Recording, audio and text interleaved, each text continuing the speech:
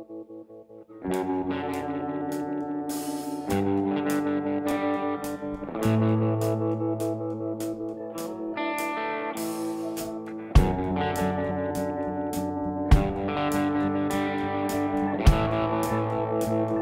work is a matter of tradition.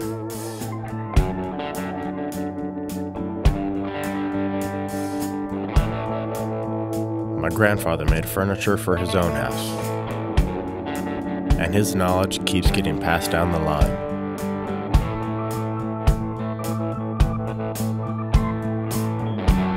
There's more to it than knowledge. The attitude.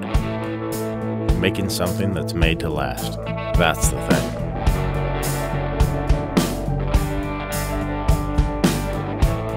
The words timeless quality get thrown around a lot these days. It's a good thing to shoot for, but timeless takes time. Red Kap, real workwear for people who do the real work. Check back on this one in a hundred years.